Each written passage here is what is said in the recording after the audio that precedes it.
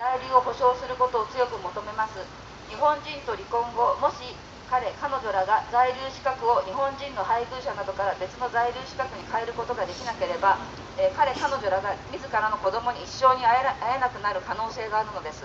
在留資格を変えることができない場合、えー、彼彼女らは出身国に帰ることを余儀なくされます。しかしながらどうして自らの子供が日本にいるのに彼彼女らは帰ることができるでしょうか。加えてたくさんの外国人親が自らの子供を探すために海外から日本にやってきています。しかしながら在留資格短期滞在在留期限最長90日の在留期限のせいで彼彼女らは自ら望むように子供を探すことができません。すなわち政府は全ての自らの子供を持つ外国人親に日本に在留するための在留資格を付与すべきであると言えます。Immigration procedures. We strongly urge the government to guarantee status for residents in Japan for foreign parents with a child living in Japan and who sincerely longs to see his or her own child. We want the government to understand that foreign parents with children between Japanese nationals who happen to divorce their Japanese spouse will lose their spousal visa status and may be compelled to return to their country of origin if they cannot change their visa status. In addition, Many foreign parents come to Japan seeking their child, but cannot obtain enough information with a temporary visa status. We strongly urge the government to guarantee the visa status of foreign parents with a child living in Japan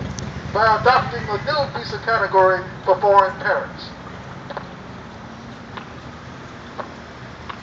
5番ドメスティックバイオレンス私たちはあらゆる形態のドメスティックバイオレンスを遺憾に思います また政府が身体的精神的暴力から女性や子どもたちを守ろうとされている努力を称賛いたします。私たちは彼女たちに本当の身体的損害の脅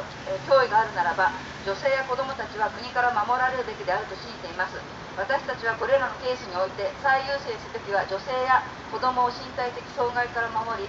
安全を確保することであると理解しています。私たちは政府が男女平等社会に向けてえー、取られている行動を称賛いたしますしかし私たちは配偶者からの暴力の防止及び被害者の保護に関する法律が現在国家によってどのように運営されているかについて非常に心配しております Domestic violence We deplore domestic violence in any shape or any form and we applaud the government's efforts to protect women and children from physical and mental abuse. We believe that women and children deserve the protection of the state when there is a legitimate threat of physical harm to their well-being. We understand, in these cases, the first priority is to protect women and children from physical harm and to secure their safety. We applaud the government's actions towards a gender-equal society. But we have some legitimate concerns about how the law for spousal, spousal abuse and domestic violence is currently administered by the state.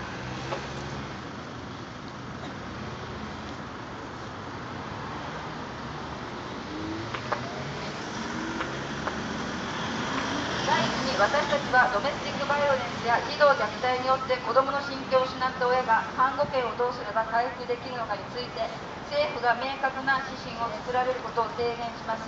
私たちは子どもの看護権をなくした親またドメスティックバイオレンスあるいは児童虐待によって裁判所において有罪になった親がカウンセリングと日本の慣習や伝統に基づく育児と婚姻関係について教育を受けることができるカウンセリングセンターを政府が創設されることを提言します。外国人市民が含まれるケースにおいて私たちは政府がより親密に外国人市民の慣習や伝統を考慮されることを求めます。また外国人親にカウンセリングを行う際には可能な限り外国人親の母語母語で、えー、カウンセリングがなされなければなりません。